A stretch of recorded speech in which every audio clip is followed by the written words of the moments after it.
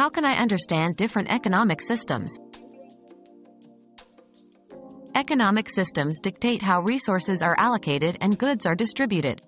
They range from traditional, based on customs, to command, centralized decisions, and market, driven by supply and demand. There's also the underground economy, illegal or unregulated activities, and mixed economies, combining market and command. Understanding these systems is essential to grasp global economics and how different countries function.